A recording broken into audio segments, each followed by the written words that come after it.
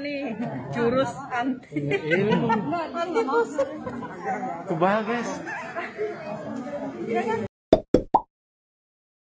Halo agan semua, gimana skaps nih? Yoi gan, kali ini kita berdua bakalan ngebahas tentang kejadian unik dan langka yang berhubungan dengan ilmu dan dunia spiritual. Spiritual nggak melulu serem-serem aja gan. Ada yang lucu dan unik juga pastinya. Salah satunya tentang seorang kakek yang kulitnya nggak bisa tembus jarum suntik ketika vaksin Di mana jarumnya kalah sama si kulit si kakek. Dan juga ada kejadian ngakak para dukun yang kena prank seseorang. Dan masih banyak lagi deh pokoknya. Ikutin video ini sampai habis ya. Yuk langsung aja kita simak. Tapi sebelumnya nih Gan, jangan lupa untuk subscribe channel kita dan juga aktifin lonceng di bawah sama tinggalin komen di bawah juga Gan. Dukun kena prank. Sebuah berita tentang menghilangnya seorang pria Yana Supriyatna sempat viral di media sosial Gan. Awalnya diduga Yana menghilang secara misterius dalam perjalanan pulang menuju rumahnya. Tapi ternyata berita ini palsu. Dia menghilang karena ada motif tertentu yang masih diselidiki polisi. Yana yang berhasil meyakinkan istrinya lewat pesan suara yang dikirim pada hari kejadian hari itu bikin geger polisi dan para dukun di sana. Akhirnya para dukun pun langsung turun gunung untuk menemukan Yana. Mereka nggak tahu padahal kalau mereka lagi di prank. Hentikan pencarian. Eh, iya mah modus. Sugana pura-pura cerik gitu.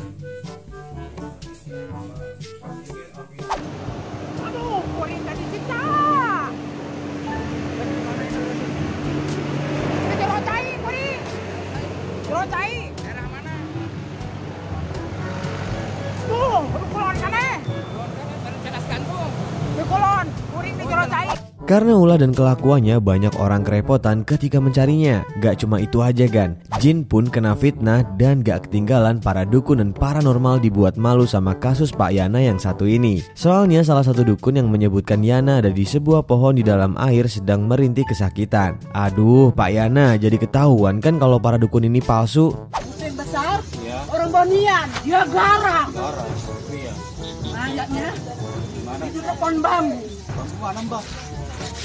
Bawah Bawah, bawah di bawah ya Di dalam air apa? dalam air Dalam air ya. Makasih ya mbak ya. Kang. Kebal disuntik. Di antara banyaknya lansia yang menerima vaksin melalui suntikan, ada seorang kakek yang bikin bingung tenaga medis. Soalnya saat akan disuntik, lengan kakek ini kebal dari suntikan atau benda tajam kan. Awalnya kakek yang tengah duduk siap menerima dosis vaksin melalui injeksi. Sementara di sebelahnya ada tenaga kesehatan dengan APD memegang suntikan. Ketika ditusukkan ke lengan kiri kakek tersebut, suntikan ini nggak mau masuk ke dalam tubuh. Tenaga medis yang merupakan seorang perempuan itu sampai merasa keheranan dan menunjukkan kepada rekannya. Nah, nih Gan cuplikannya.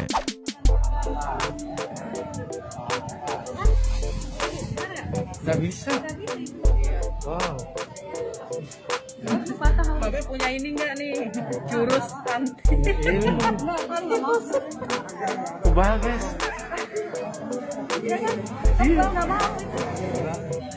Keluar darah Nggak keluar darah.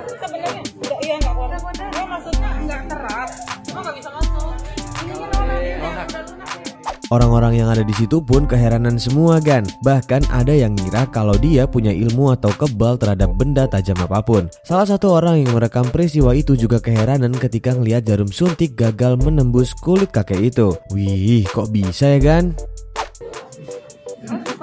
Punya ini enggak nih jurus anti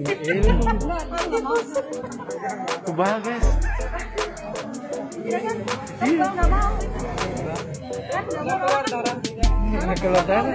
sebenarnya enggak iya nggak keluar dia maksudnya nggak keras. Cuma nggak bisa masuk. Ininya nona Kuntilanak ditangkap.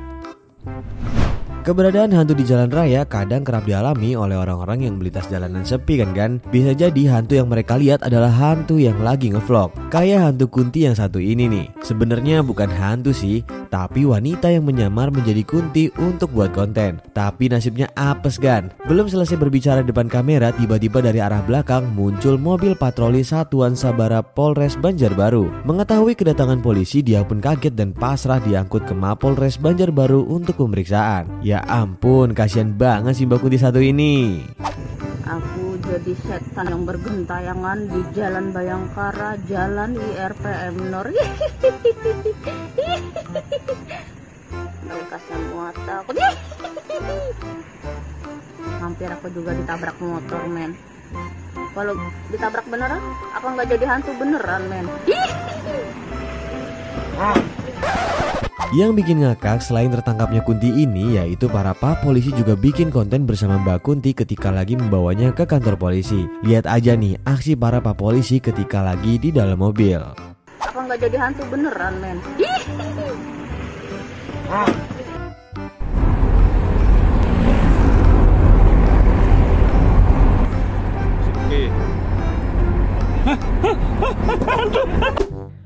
Minta nomor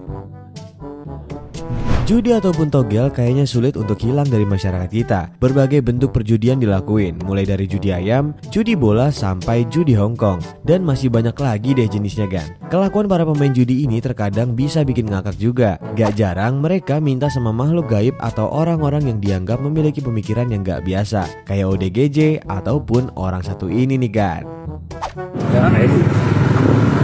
Nomor kira nomor. Arab. Nomor kira. Lebih baik baca istighfar minta ampun kepada Allah. Ya, ya, ya.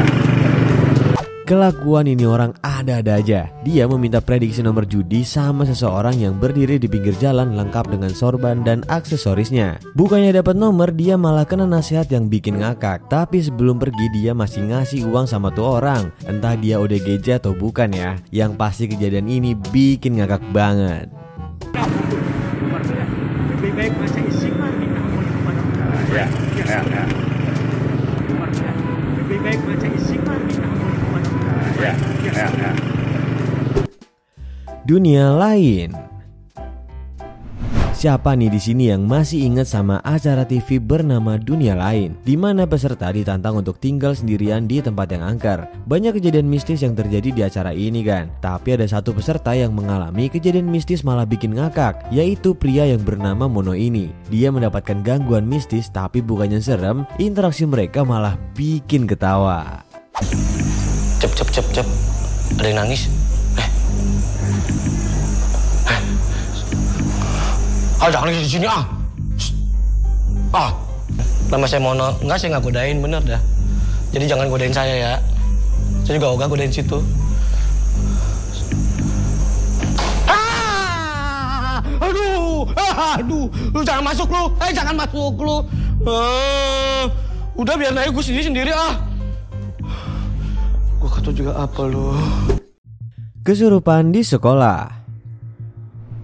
Gak sedikit orang-orang yang mengalami kejadian kesurupan, di mana tubuhnya dimasuki oleh makhluk lain tak kasat mata. Salah satunya gadis perempuan yang satu ini nih kan. Sebuah rekaman memperlihatkan seorang gadis SMA yang tiba-tiba aja menari di antara teman-temannya. Awalnya orang di sekitarnya mengira dia lagi menari biasa aja, tapi semakin dilihat gerakannya kok semakin aneh kan. Lihat aja nih, dan gini nih cuplikannya.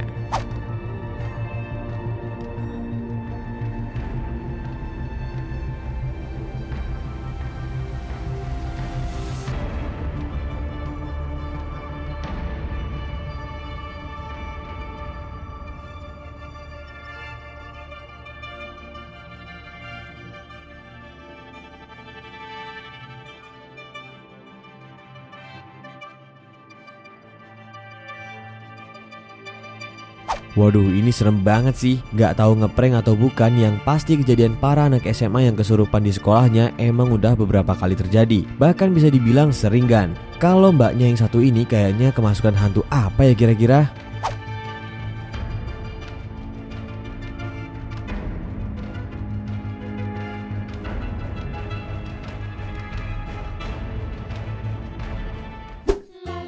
Ilmu kanuragan gagal sebuah video viral satu ini menunjukkan atraksi pamer ilmu kanuragan atau kemampuan kebal terhadap sarangan lawan yang berakhir apes dan ngakak. Seorang bapak ingin mengetes ilmu kekebalannya. Dia memasang ancang-ancang dan mengambil nafas dalam-dalam. Pada hitungan ketiga, batu itu langsung dilemparkan dengan kuat ke punggung sang bapak. Tapi saking keras dan kuatnya lemparan, dia malah kesakitan kan. Rekannya yang melempar batu menyuruh bapak itu untuk mengambil dan membuang nafasnya. Dan gini nih cuplikannya.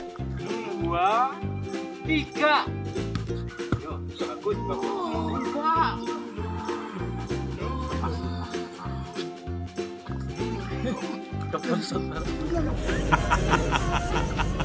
Terima kasih telah menonton video ini. Jangan lupa klik like dan subscribe untuk selalu berlangganan konten menarik dari kita. Dan selalu mendukung channel ini agar bermanfaat bagi orang lain. Jangan lupa juga untuk komen di bawah. Sampai jumpa di video selanjutnya.